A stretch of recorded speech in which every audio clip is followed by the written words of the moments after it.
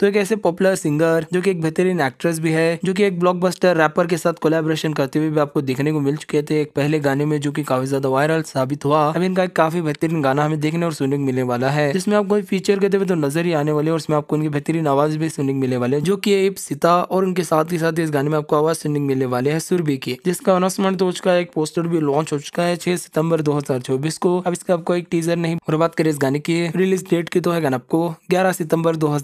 को।